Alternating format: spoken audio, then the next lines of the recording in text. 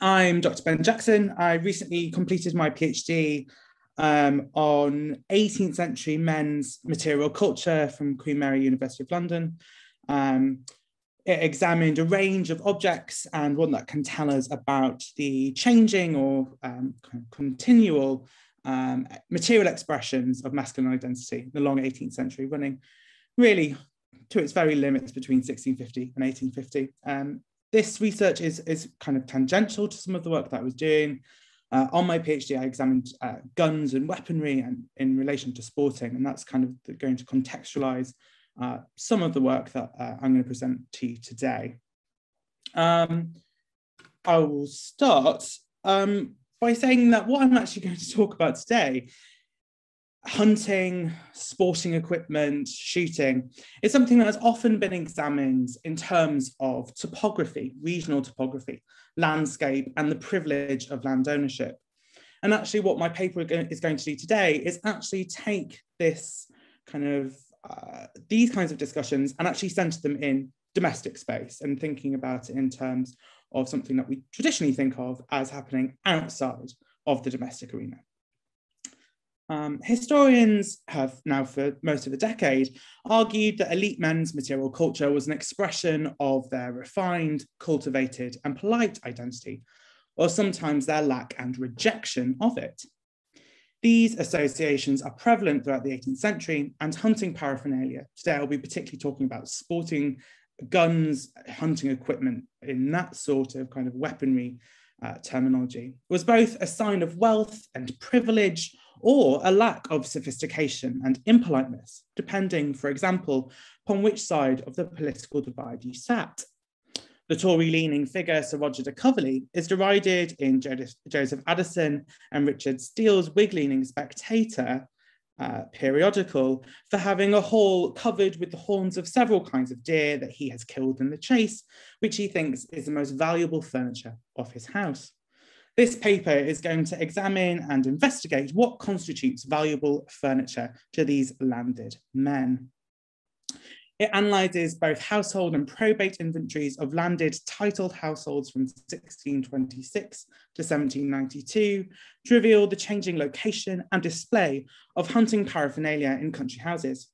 It demonstrates how changing prescriptions of elite masculine behaviour influences men's sporting material culture and the impact that had on the domestic interior and space of country houses. Uh, to contextualize this research in a longer version of this paper, it is actually centered around examination of the figure of the gentleman sportsman.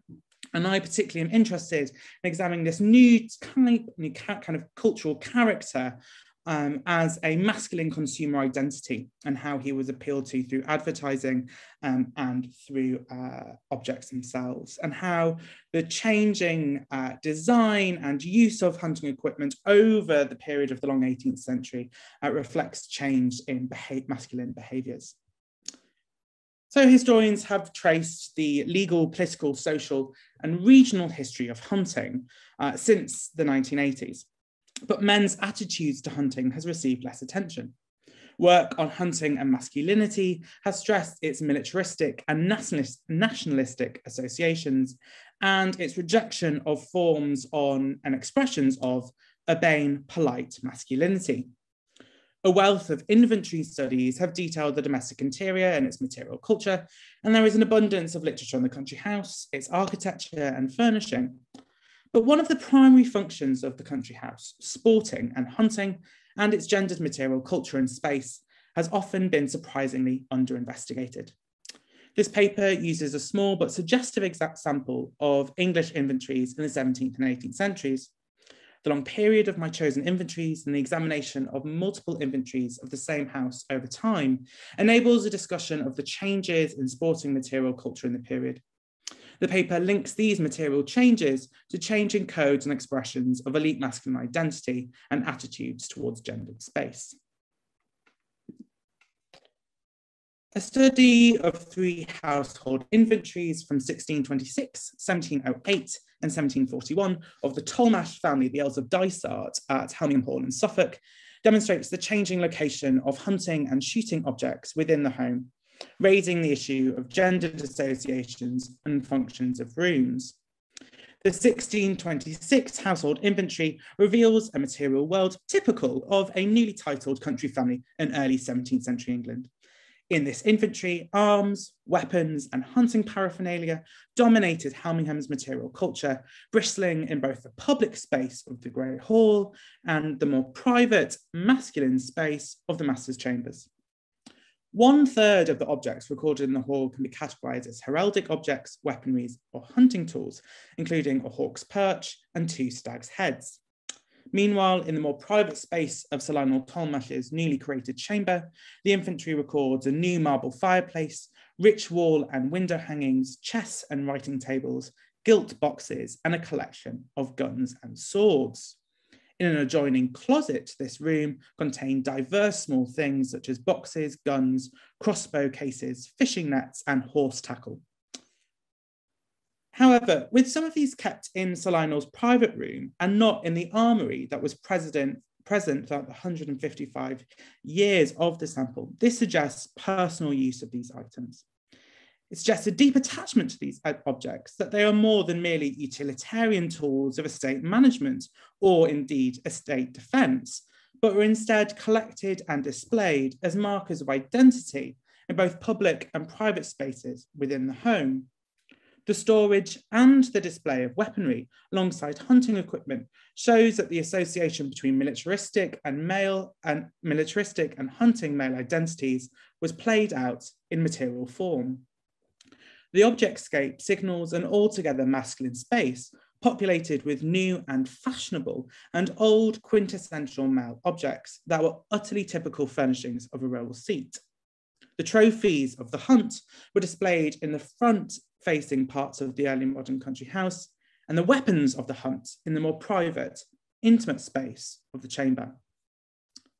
A completely new material culture appears at Helmingham in the 1708 inventory, that of hot drinks equipment, delfware, glassware, an abundance of art and decorative plasterwork and marble.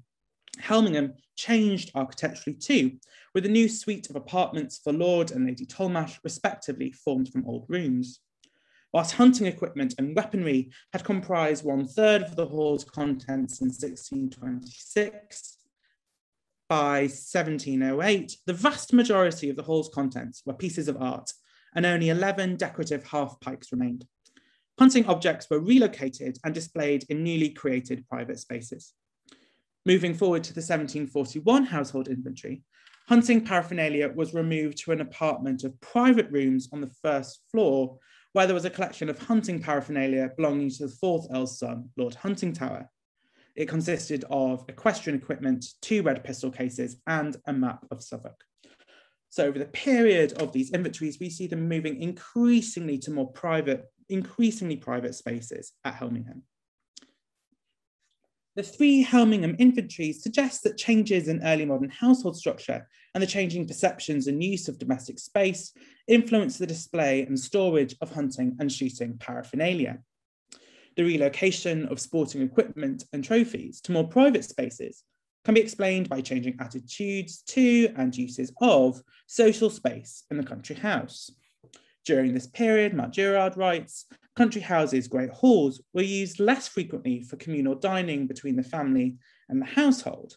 And again, we see here those distinctions between the kind of what a polite hall should be, the polite taste in the spectator at the beginning of the paper, and what is actually happening in practice the 17th century introduction of uh, private family dining parlours, the back stairs, servants' halls, and servants' annexes attests to landed families' growing desire for privacy and the spatial separation of family and household. As the hall's function changed, so too did its decoration. Girouard notes how arms and armours were still hung in great halls, but no longer for use, but as decoration and by the 18th century, they were often displayed by classical hunting scenes in relief plasterwork. The increased desire to architecturally enforce household hierarchies meant that late 17th century country houses introduced rooms with gendered associations based on their function, and by the mid 18th century, their decoration as the example of Blenheim Palace shows on the screen, the introduction of symmetrical hierarchies of rooms for husbands and wives uh, to conduct particularly gendered activities within the country house appeared as suites of enfilade of rooms in succession apartments. And you can see that kind of very crudely circled on the plan of Blenheim there, um, and that you see the very distinct separation of the Duchess of Marlborough's uh, dressing room on one end to the grand cabinet of the Duke of Marlborough right at the end of a succession of rooms on the other. Uh, I'm now going to turn to some other case studies um, and looking at a probate inventory taken on the death of Earl Lichfield of Ditchley Park in Oxfordshire in 1772. It records a hunting related objects in more private rooms again. So we're seeing now kind of a growing pattern. In a closet adjoining Lord Lichfield's library and dressing room, the inventory records a material world of polite, cultivated, elite masculinity. Amongst printing and bookbinding machinery and a plethora of musical instruments, there was a neat silver-mounted hunting gun, pistols, and swords. In the, I skipped my order, in the 1782 probate inventory of Osterley Park in Middlesex, the home of the East India Company family, the Childs, in a circular closet on the principal floor, the inventory recorded a fashionable Wilton carpet, a mahogany shaving stand, drawings of Osterley, and a silver-mounted fowling piece or hunting gun, um, an Indian sabre, some fishing rods, and a Dollond's telescope. The 1782 probate inventory of Wentworth Woodhouse records 35 sporting guns and pistols from British and European manufacturers in a gun closet adjoining Lord Rockingham's antechamber, so again, a more private room, on the new expansive Palladian east front pictured on the screen. The inventory recorded a wealth of equestrian portraiture in the red drawing room that preceded the gun closet, and included many by Rockingham's famed equestrian painter protege, George Stubbs. As at Helmingham and Ditchley, hunting and equestrian pursuits were present in the country house's material culture, not as hunting trophies and stag heads, but as aestheticized and pacified representations of sporting prowess and knowledge. The introduction of the gun closet rather than an armory demonstrates for elite men like Rockingham, even when a room was dedicated to weaponry, hunting and shooting objects were not stored, but they were displayed. It is worth noting that this shift in material culture is also a result of global expansion, travel, and empire. Rockingham, we know, went on the Grand Tour, and the Child's family's connections of hunting paraphernalia at Osterley are the result of the family's connections with the East India Company. While I don't have much time today to discuss the implications of items such as mahogany tables, Indian sabres, Chinese lacquerware, and hunting guns, I would welcome the opportunity to talk about that in the Q&A. Let's move towards my final um, case study is taken from a 1792 probate inventory of Houghton Hall, the Palladian pile of the Earls of Orford on the death of the third bachelor Earl. It reveals a unique attitude to space and hunting objects. At Houghton, the eastern block of rooms on the ground story was given over to the display of hunting material culture and its sociable functions. The entrance hall that you would access through the ground, store, ground story uh, door you see on the screen uh, in the arcade hall contained four stag's heads. Hunting trophies like stag heads, often killed by past generations of huntsmen, symbolize the elite lineage of the current hunter. The arcade hall was similar in design and decoration to a baronial hall. With groin vaulted arches and unpainted stone walls, it is architecturally very similar to the stables at Houghton as well. Girouard notes that when the use of the heavier rustication, so that's the kind of um, heavier stone detailing on the basement story um, is used on the ground floor rather than a piano nobile, it indicates this hall's more traditional, more rustic function. It is literally more rustic in function and in design. The hunting or sportsman's hall adjoining the arcade hall is a rare example of a room functioning specifically for the display of hunting equipment and pre and post hunt entertainment. Like the arcade hall, it too contained a stag's head, as well as large mahogany and marble tables and leather chairs, and a map of Norfolk. Here, new modern luxury furnishings sat alongside old emblems of elite status. As at Helmingham, Ditchley, and Osterley, scientific instruments were recorded in the same rooms as shooting equipment. The breakfast parlour contained a barometer, as well as a pair of gun racks, a dressing table, and a mahogany dining table. Barometers, a 17th century invention, were used to predict changes in weather and were thus crucial to ascertaining the weather conditions for hunting and shooting. In this instance, the barometer was not merely on display as an object of scientific progress, but played a very practical role for the sportsman within the room itself. At Houghton in 1792, older traditional sporting material culture of hunting trophies and stag heads sat alongside objects of polite science.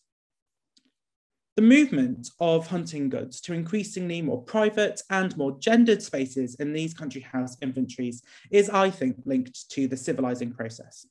Sociologists Norbert Elias and Jonah Brundage and historians Philip Carter and Robert Shoemaker have all argued that with new polite modes of masculine behaviour in the 18th century, honour and civility became less militaristic and violent in its construction. This pacification could be seen in the replacements of pikes and spears with portraiture in front-facing spaces and how sporting guns, fishing rods and horse furniture were increasingly located within men's personal rooms. There are other aspects that I could identify, such as the declining military role of the general and the rise of a standing army, but those are kind of tangential to what I think is going on here. The material presence of martial masculinity remained the same in the country house across the period of these inventories studied, but the material objects that expressed this martial masculinity changed. Stag heads were replaced with sporting portraiture. Sporting guns were no longer displayed alongside pikes and spears, but telescopes, barometers, and in some instances I found globes as well. In this context, sporting material culture in the country house shifted from hunting trophies to instruments, militaristic masculinity was now represented in an intellectual and scientific material culture that showcased an appreciation and engagement in enlightened knowledge and technological innovation.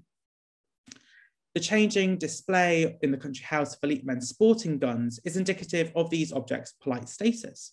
As a masculine cultural ideal changed from, chivalric honour to polite, to polite refinement, so too did men's material culture guns and the paraphernalia associated with them remained integral to the gentleman sportsman, but his masculinity was also demonstrated in objects of global luxury, polite science, and also polite entertainment.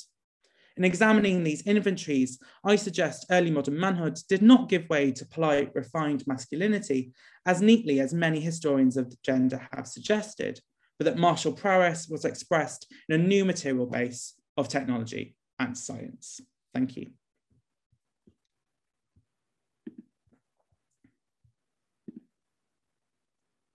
Okay, I've unmuted myself there. Cheers that, Ben. That was, that was brilliant. We've already had some questions in the chat. So we'll take the questions um, at the end. Um, and I'll now hand over um, to Sean to, to present his paper and um, obviously do an introduction as well. Over to you, Sean.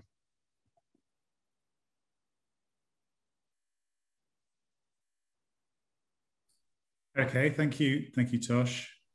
Um, so, yeah, I'm one of the Strand co-conveners and I am professor in the Department of Sociology at University of Essex. And this paper comes out of a, a, a forthcoming book um, to be published by McGill University Press in the autumn called Passions for Birds, Science, Sentiment and Sport. And there's some crossovers with what Ben's been talking about, although it's set in the 20th century in terms of there's, there's chapters on wildfowling and falconry. Um, but today I'm going to talk about uh, Rachel Carson, Silent Spring, and, and geographies of environmental crisis in the late 50s, early 60s. Rachel Carson's Silent Spring, first published in, oops, first published in the USA in the autumn of 1962, has become one of the founding texts of contemporary Western environmentalism. While much of the impact of the book stem from its claims about the actual and potential effects of a range of organochlorine pesticides upon human health, it was Carson's account of the consequences of, the, of these toxic chemicals for bird populations that not only bequeathed the book its title, but also strikingly dramatized the pressing dangers of post-war agricultural change and the intricate, upon the intricate web of life. In this paper, I explore the way Rachel Carson and the scientists, bird recorders, and amateur observers whose studies and accounts she drew upon helped to make visible and legible the new threats to bird life from toxic chemicals. Carson's skill was to link what was often localized and fragmentary evidence of bird deaths and population declines to an understanding of a wider crisis of the natural environment. Carson used the evidence she collected from fellow Audubonites. These are the members of the state Audubon um, bird societies, member of the DC Audubon Society. She used evidence from these fellow Audubonites and sympathetic scientists to map the distinctive geography of loss um, in America and Britain linked to mass, mass bird deaths.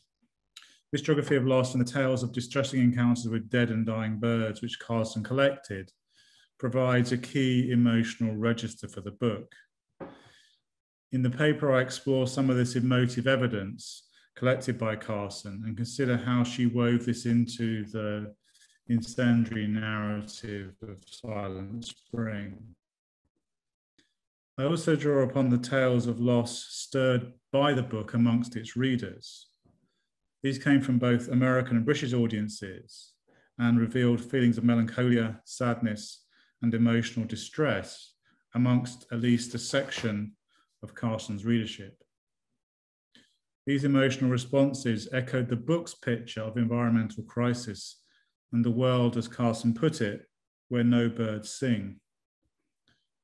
For these readers, like Carson herself, the stripping away of the animating presence of charismatic bird species in daily life had impoverished familiar landscapes, subtracting, subtracting something essential from them. From the publication of, of the first extracts of the book in June 1962, Silent Spring was, as Linda Lear notes, an immediate sensation. The book spent much of the autumn of 1962 at the top of the New York Times bestseller list, with sales passing 106,000 copies in the week before Christmas 1962. By March 1963, it has sold more than half a million copies, being selected as the Book of the Month Club and being published in the UK and West Germany. French, Swedish, Dutch, Danish, Finnish, and Italian translations appeared through 1963. Much of the impact of the book stemmed from the fact that it found a readership already sensitized to the dangers of unseen environmental threats, an emerging skepticism about scientific progress, and fears that powerful vested interests in American society sought to hide inconvenient truths from the American people. Silent Spring cleverly played on these fears. It mixed scientific fact with the language of mythology and the disturbing tropes of European fairy tales. These hinted at the unforetold consequences of human action, of doom and disaster unwittingly created, and of human arrogance leading to hubris. These themes were powerfully established in the prologue to the book titled A Fable for Tomorrow, Carson conjured the story of a fictitious American town struck down by a strange blight. As if, as she put it, an evil spell had fallen upon the town, cattle and sheep became ill and died, children got sick, and birds disappeared. Where once there had been all life living in harmony, now, quote, everywhere there was a shadow of death. Drawing on the evidence she had collected from Audubonites and newspaper and magazine reports, Carson's fable focused on the vanishing birds. Quote, there was a strange stillness. The birds, where had they gone? Many, many people spoke of them, puzzled and disturbed. The feeding stations in the backyard were deserted. The few birds seen anywhere were moribund. They trembled violently and could not fly. It was a spring without voices. only silence lay over the fields and woods and marsh. This was a blight caused, Carson suggested, not by witchcraft or by enemy action, but by the people themselves. The agricultural chemicals were, as she put it, elixirs of death that brought not life but destruction to rivers and fields, suburban backyards, and the home itself. Carson turned the militarized language of the pest control programs and their war on nature against the government agencies to assert that they were laying down, quote, a barrage of poisons upon the environment and bringing, quote, a rain of death upon the surface of the earth. So it's very emotive language that Carson is, is using to paint this picture of, of crisis. In what was perhaps the most powerful aspect of Carson's arguments, she drew upon um, ecological understandings of the interdependence of life to point to the risks to human health from indirect exposure to these biocides. Noting that the new chemicals had already become stored in the bodies of most Americans, Carson forced her readers to not only face the unknown risks to human well-being, but to see human life as part of and dependent upon the wider natural world. Human beings were part of a food chain and bound to and dependent upon the wider natural environment. Carson also made a political argument throughout Silent Spring that government and commercial interests should be subject to greater democratic accountability and that citizens had the right to experience the joy of nature and wild birds as part of a full human flourishing as she asked, quote, who has the right to decide for the countless legions of people who were not consulted that the supreme value is a world without insects, even though it be also a sterile world ungraced by the curving wing of a bird in flight. The story that Rachel Carson told in Silent Spring was largely an American story rooted in the landscapes created by post war American affluence, suburbanization, and technological change. Carson's opening fable had summoned up an archetypal, archetypal post war American suburb, close to existing farmland and with its backyards supplied with bird feeders. The selection of these landscapes and places reflected the distribution of the spraying patterns of the American government and the geography of pest populations in the USA. It also drew from the places that scientists like uh, George Wallace and Joe Hickey and committed amateurs, including hundreds of Audubonites, had made their observations.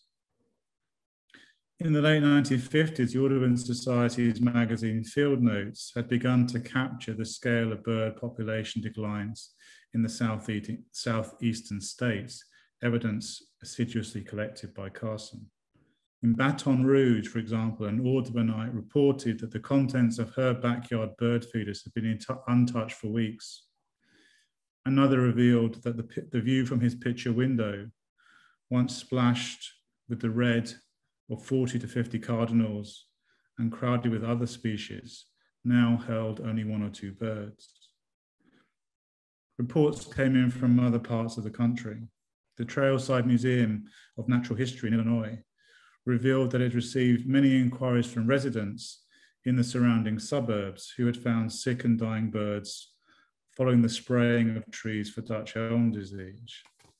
Virginia Moe of the museum noted the typical condition of the birds. Quote, symptoms are paralysis and constant trembling and palpitation. When gently held with the legs dangling, the toes of the feet move constantly as if the birds were typewriting. Death follows in an hour or so. Local newspapers also registered the phenomenon. In July 1958, for example, a letter to the Vermont Caledonian Record wondered, quote, are we killing off the birds? The correspondent claimed that since the introduction in the area of DDT to combat Dutch elm disease, quote, we have hundreds of poisoned birds delivered, delivered to us by local housewives the toll is indeed alarming. In February 1963, the Miami Herald also reported scores of robins dying at Bay Point. a resident revealed how, quote, birds have been falling out of our oak tree and we've been picking them up for the past two days. Another resident revealed that following the spraying of her lawn, quote, birds began falling from the trees. By drawing upon the evidence from local newspapers and regional Audubon members, like these I've just discussed, I think Carson wove a compelling empirical picture of the dramatic changes in bird populations in the USA. It gave a strong emotional punch to her book, elaborating upon the shocking picture of American landscapes devoid of familiar birds that she had established in her introductory Fable for Tomorrow. Silent Spring was also important in the way for the way in which it welded together the shared sense of loss amongst those who read the book. Readers were, readers were stirred to write to Carson, seeing a connection between their own personal local experiences of bird declines and Carson's narrative of environmental change. These letters confirmed the mapping of the crisis of both wild and suburban America and the parallel, if different, geography of environmental crisis in the UK. Amongst the letters that Carson received was one from, from Florida resident Philip E. Howard Jr. He wrote to Carson to tell her of the disappearance of local birds. Quote, my wife and I have noted the scarcity of bluebirds, and I have seen fewer eagles in the last two or three years than formerly, and none at all this winter. At dinner the other evening, a lady from Orlando told me of seeing a bird collapse on her lawn as, she tried to, as he tried to feed while the sprayers were working.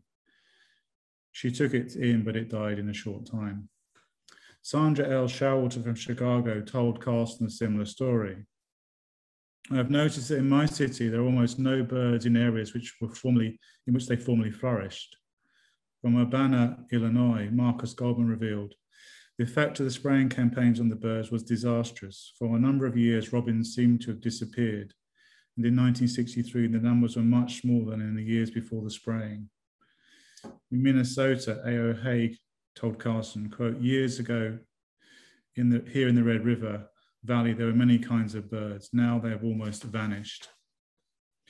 And there are also letters from Britain where, where British readers um, brought to Carson's attention evidence of the dramatic effect on bird populations, including the effect on um, birds of prey, which became something of a cause célèbre in the in the uh, early and mid 1960s. Carson Hurd did not need reminding of the British evidence. Silent Spring drew upon the research into the effects of toxic chemicals in the UK. These sections of her book brought a picture of the British countryside into the largely American geography of loss that she documented.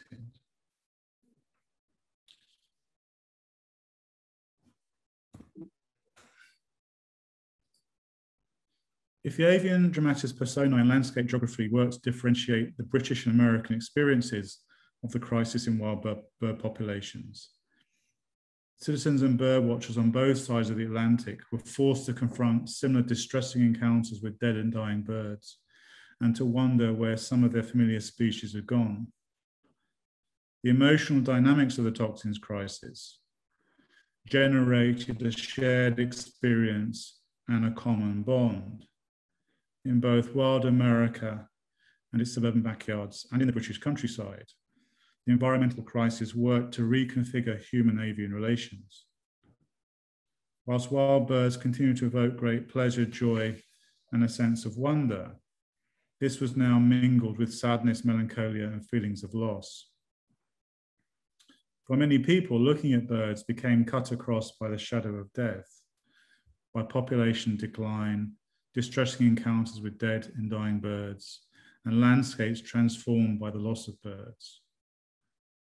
This cumulative sense of loss meant that to look was to see, if not a dying world, as the author J.A. Baker suggested in his 1967 book, The Peregrine, itself um, a book very much in dialogue with Carson.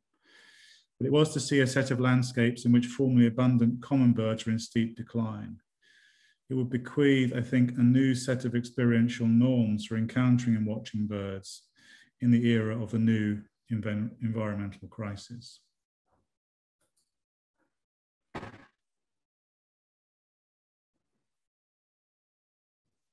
Okay. Sorry, we're going back to the whole I'm on mute thing again. Sorry, Sean.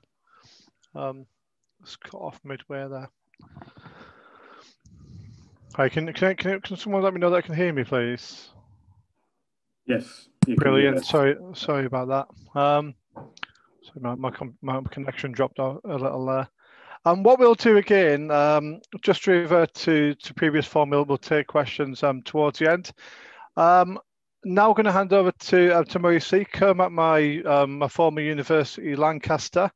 Um, Murray's going to be talking about managing people, managing space, constables, highways, and connectivity in the 17th century Halifax.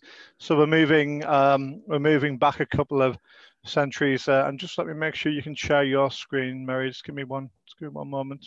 There we go. Just want to make that full screen. That should yeah, work. Okay, Mary. So you should see picture of a path. I can't see that. But have you got my title slide? There? I can see your title slide, but you need to just click on the the bottom where it goes on to um, full screen. So if you just scroll down, it should allow you to do that. I think I'm, I'm on the wrong screen at the moment. I'm going to stop sharing and go in again. Okay. Um, Is, is that any better? Is it without the notes? That's that's full screen now. Yeah, I don't know if, any, if anyone else can confirm. That's what I can see. Okay, I'll get going. So, good afternoon, everybody. Yes, thanks for the introduction. Um, I'm going to be talking about the way highways were maintained and managed in, in the 17th century in the parish of Halifax. And I should perhaps make a preliminary point about the road in the photo. So around about 1650, this was actually the main road between Rochdale and Keighley. Um, so my study area is in the South Pennines, where travel and transport was almost entirely um, by horseback or on foot um, until the mid 18th century.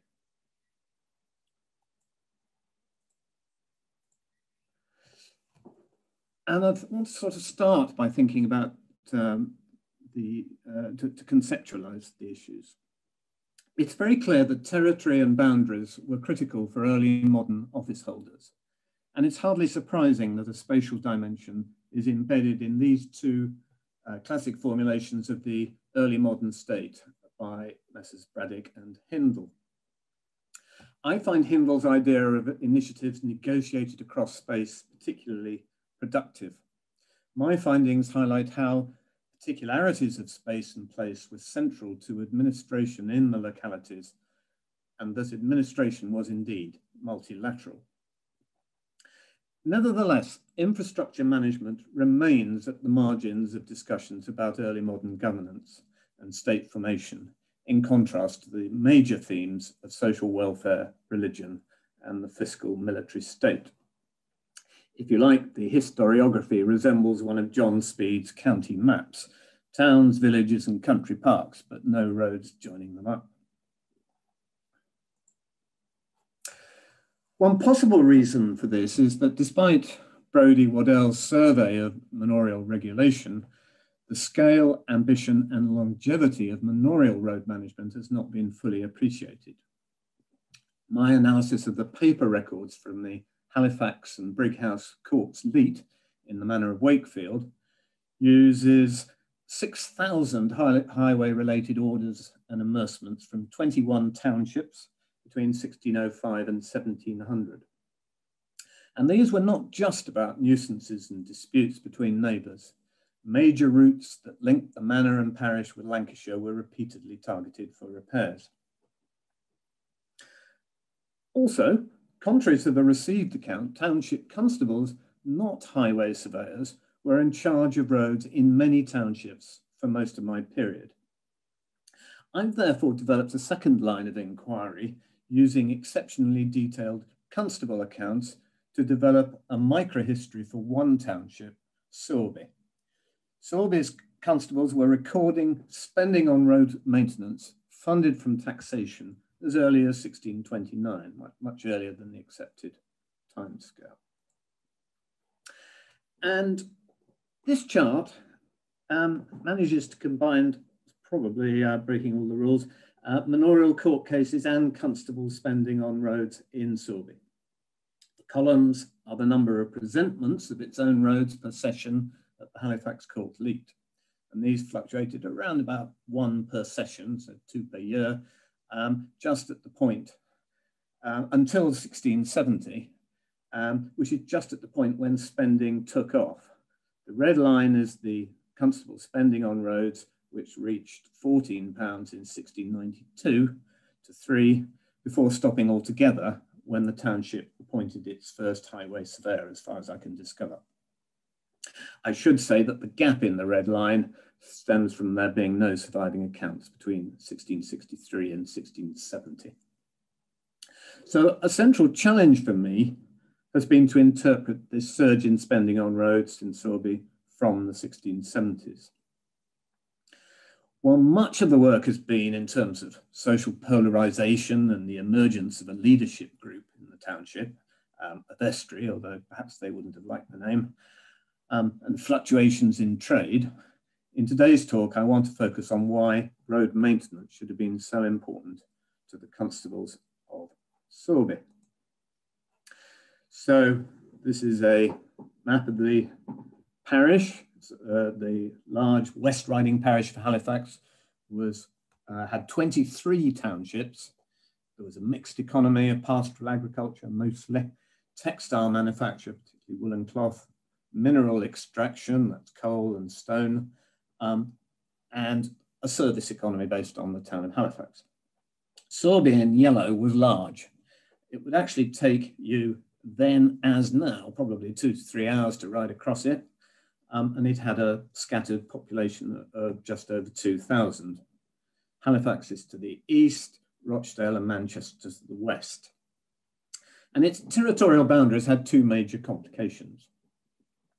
Firstly, part of it was called Soyland um, to the south, which had a chapel at Ripponden, um, that was affiliated to the parochial chapel at Elland, which meant its church wardens and overseers of the poor had different lines of accountability from the rest of Sowerby, whose local chapel of ease looked to the mother church at Halifax. Nevertheless, these two parts of the, of the township shared a single constable. And unsurprisingly, there were periodic disputes, especially about the level of constable rates. Secondly, on this map, and here you have to look very closely, you can just about see um, a strip of purple around the north of a township called Erringden, immediately to the north of Sowerby. And that uh, Erringden was actually a, hunt, a, medieval hunting park until about 1451. And this strip became known rather quaintly as the Sowerby Ramble. Um, and it meant that Sowerby had boundaries with eight other parish townships, as well as Lancashire's Rochdale to the west.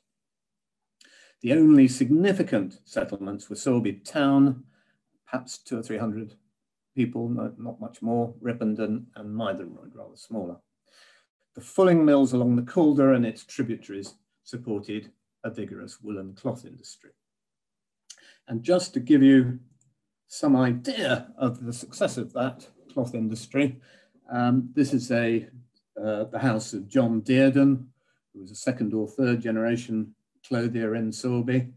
Um, he was actually the constable in 1650 and played a part in the vestry and the audit committee for the township thereafter. Uh, and you can see the, the size and scale of his house. And it is his, just about see his initials down here. Actually says 1649 there, if that's right. Um, JD or ID. So the well, I just adjust my, my, my notes. The duties and status of an early modern constable um, have been explored by Joan Kent, a classic study. The activities itemised for expenses in the accounts concur with her findings, but they also demonstrate how the office was particularly concerned with space.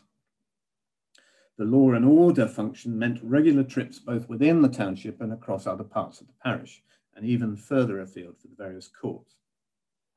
Constables were also responsible for removing vagrants and people without settlement status, and checking the passes of authorised military and civilian travellers. Assessments for national and local taxation gave constables a thorough knowledge of land holdings within the township, while for much of the period, the constable was also tasked with supporting militia soldiers and army detachments. So let's take a closer look. This is a map of locations mentioned in the accounts in a single peacetime year that are relevant to law and order. The bigger the circles, the more frequent the visits. If I'd done a map for the accounts for 1644, clearly it would have been a very different uh, pattern, but it would have been spatially quite complex as well. Top of the list, unsurprisingly, were duties within the township. Uh, so that's the big circle at Sowerby and at Ripponden closely matched by Halifax Town, the venue for two court leet sittings and regular petty sessions in the 1630s. Visits to justices out of sessions were spread between a chap called John Farrer at Ewood to the north and Thomas Thornhill at Fixby, uh, both within the parish. But they also, the, the, the guy also had to go um, as far as Otley Kippax and Pontefract to see other justices about particular issues. If my memory serves me, serves me right, one of them was the, subject of cottages and cottagers. Three visits were made to, to Wakefield, twice to take people to the House of Correction, and once for a militia muster. Excluded from these are 10 occasions on which a payment was made to the High Constable at an unknown location. He may have had an agent nearer to Sowerby. However, the, the petty constable, the local constable, carefully recorded the locations of 14 bridges repaired from county funds right across the West Riding, ending actually in a payment for Mytholmroyd Bridge, which is in uh, itself. There are also two payments for plague-affected Hull. Altogether, £20 was passed to county funds out of a total rating income of 35. And of the remaining £15, three pounds was actually spent on road repairs in the township. You can see the, the, the spatial element involved.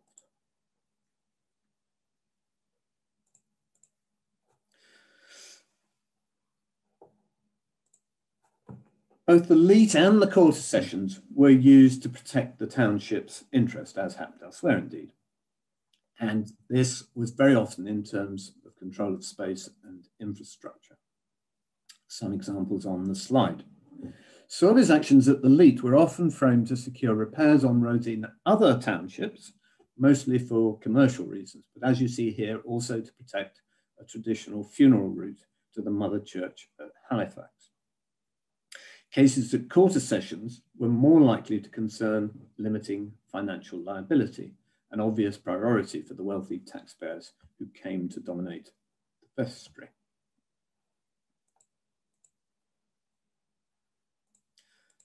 Particular joy of these accounts is uh, is are the uh, the details that you get about tra people traveling through.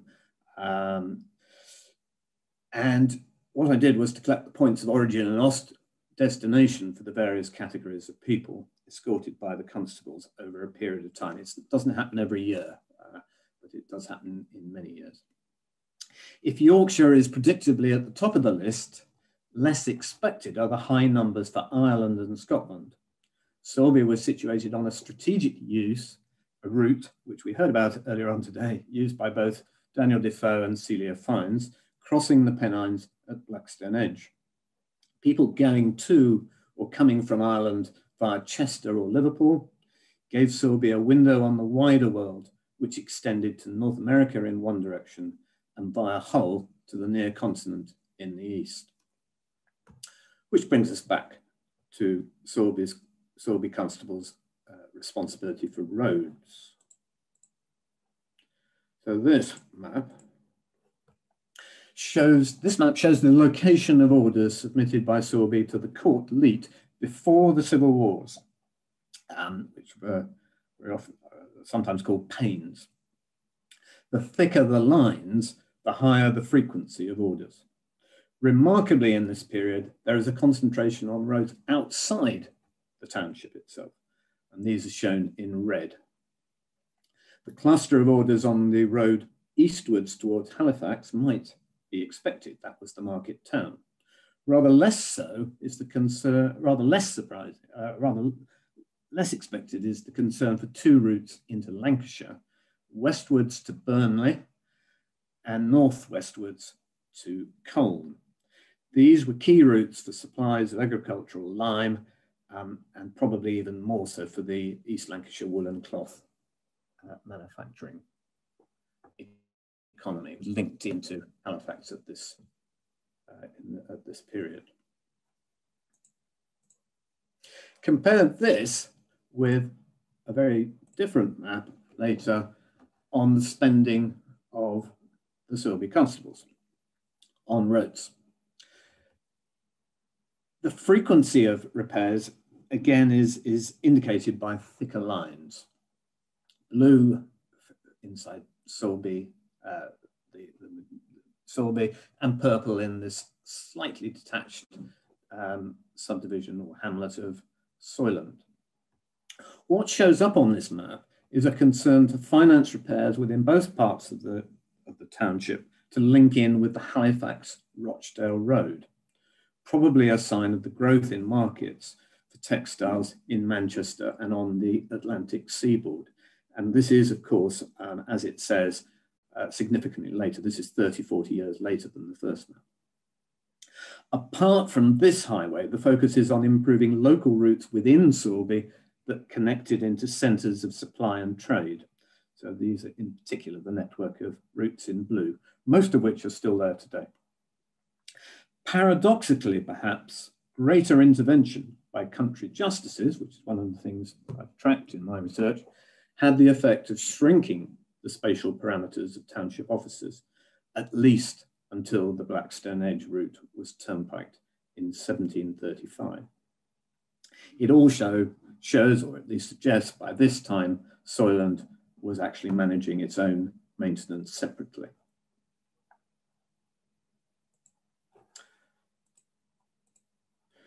So the conclusions that um, I've come to, I'm arguing that our understanding of the constable role needs to be refined, not necessarily redefined, but refined in terms of responsibilities for space and travel.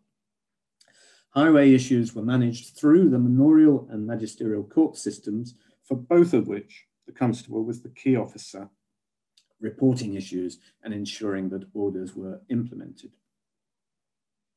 During the 17th century, the constable's administrative space was actually elastic.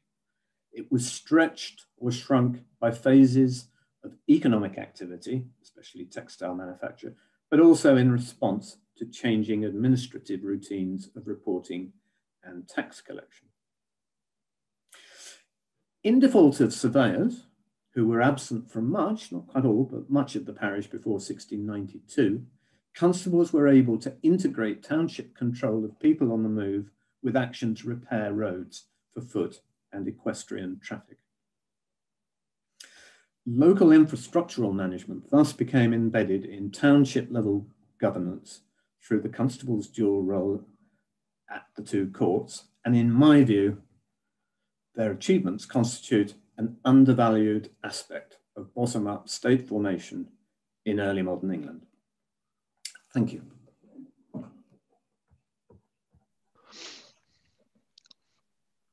Okay, thank you for that, Murray. Cheers. And just on, on behalf of the Social History Society, thanks for coming along. Do look at membership if you haven't already renewed or um, joined, in fact. Um, and also, uh, the, the, the, the talk will be available later on, I believe, as well. Um, we've recorded it. Um, and obviously, any questions, do follow up with the speakers. I'm sure you'll be able to get their contact details as well. But thanks for that, and obviously see you all um, at the rest of the conference. Thank you.